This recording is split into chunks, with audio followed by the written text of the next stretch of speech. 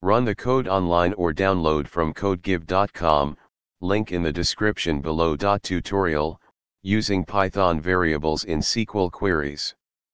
In this tutorial, we'll explore how to use Python variables in SQL queries. This technique is commonly used when you need to dynamically generate SQL queries based on user input, configuration settings, or any other runtime information in your Python code. We'll cover basic examples using both SQLite and PostgreSQL databases. Prerequisites Step 1 Setting up the database. First, let's create a sample database table to work with. If you're using SQLite, you can create a simple database file like this.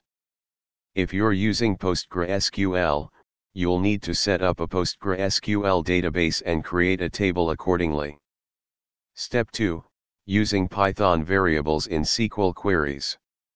Now, let's see how we can use Python variables in SQL queries. We'll start with a simple example of inserting data into the database.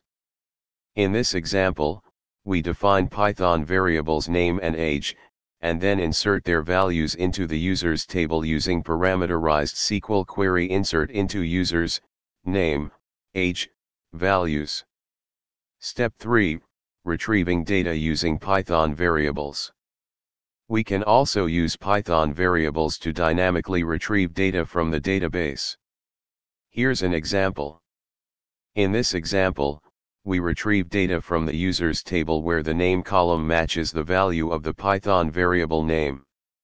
We use a parameterized SQL query select asterisk from users where name equals to ensure safe handling of user input.